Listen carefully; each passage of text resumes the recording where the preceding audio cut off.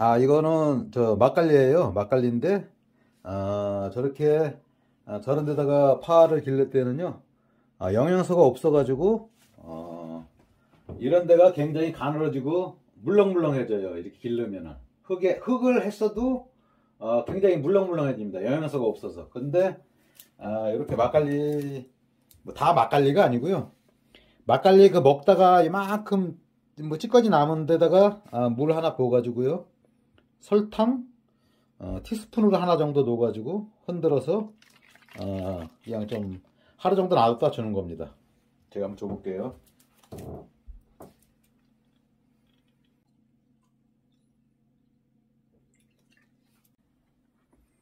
아, 이렇게 주면은 이 영양이 충분해 가지고요. 파 위에서 잘라 먹고 이래도 어, 밑에도 튼튼하게 잘 자랍니다.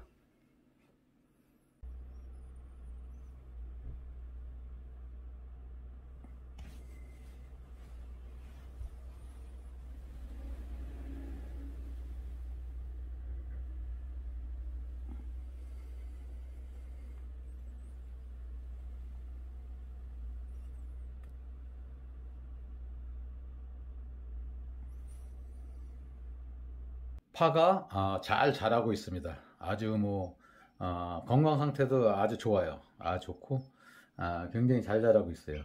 아, 제가 이거 파를 어, 이런 무슨 플라스틱 병을 이용해 가지고요.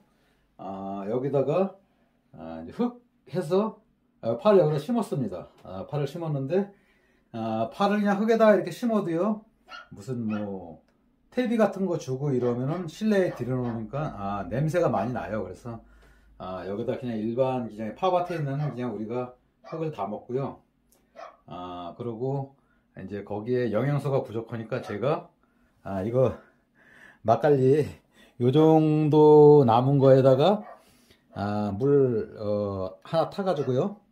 아, 설탕 조금 음, 티스푼을 하나 정도 넣어서 흔들었다가 아, 발효시켜 가지고 하루 정도 아 그래 가지고 제가 이렇게 조금씩 조금씩 주면서 아 저 물도 같이 줘가면서 한 열흘 정도 어, 키웠습니다. 아, 이제 이렇게 잘라서 어, 드시면 될 것 같아요. 이런 이렇게 잘라서 드시면은 또 자라고 또 이거 잘라서 드시면은 아, 계속 자랍니다. 이렇게 그러면서 어, 드시면은 뭐, 아, 뭐 많이 안 드시는 분은 어, 우리 뭐 요즘 뭐 젊은 분들은 많이 안 드시니까 아, 뭐한뭐 겨울 날 때까지 이런 거 한 두 개 정도 있으면은 아, 겨울 나지 않을까 아, 이렇게 생각합니다. 아 제가 파 아, 이렇게 키우면서 먹는 거 어, 이렇게 영상에 한번 담아봤습니다. 아 그리고 또 그냥 뭐 흙에다 심었다 그래서 영양소가 없으면요 파가 자라면서 아, 우위로 자라면서 여런 데가 아주 물렁물렁해져요. 그래서 파가 먹을 게 없어요. 근데 이거는 땡땡합니다.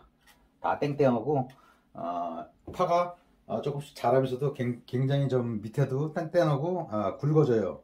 아, 이렇게 키우면서 아, 드시면 괜찮을 것 같아요. 한 두 개 정도만 키우면은 어, 뭐 겨울 나지 않을까. 조금 드시는 분들은 아, 겨울 날 수 있는 것 같아요. 아, 제가 이렇게 파 키우면서 먹는 거 한번 영상에 아, 한번 담아봤습니다. 아, 시청해 주셔서 감사합니다.